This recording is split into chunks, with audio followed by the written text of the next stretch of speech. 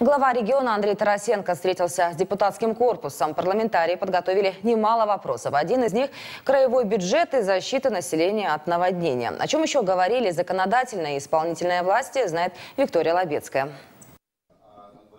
Почти два часа они обсуждали самые острые темы из жизни региона и его жителей. Без прикрас, как есть на самом деле.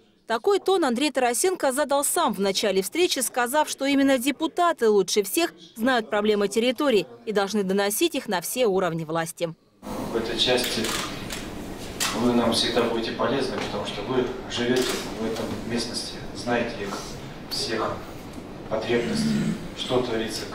Один из первых вопросов про северные дороги. На отрезке от Чугуевки до Тырнея нет асфальта, а мосту между поселками Киевка и Преображением нужен капитальный ремонт. Директор профильного департамента тут же пояснил, со следующего года первые три километра дороги Рудная пристань-Тырней будут в асфальте, потом остальные. А вот с мостом процесс затяжной, объект большой.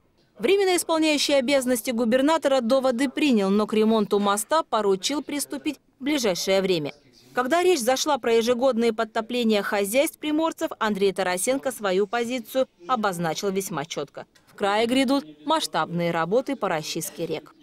Если сейчас объявляешь, мы почистили все реки, мы бы меньше денег тратили потом, когда придет тайфун.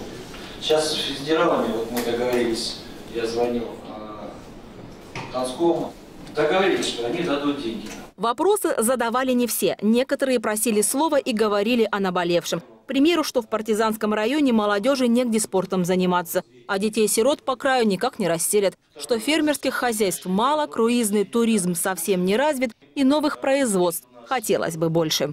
Лесопильни какие-то хорошие поставить. Вот сейчас весь мир на пилеты переходит. А у нас здесь, почему мы их не делаем?